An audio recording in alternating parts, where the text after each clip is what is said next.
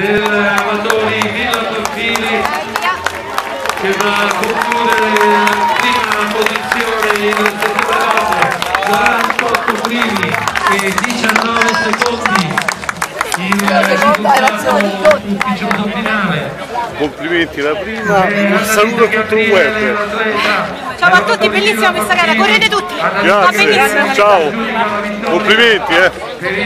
Ciao. Settore in occasione di questa 16 La prima donna, primo arrivo, della Run five. F5 Run 5 a Pianata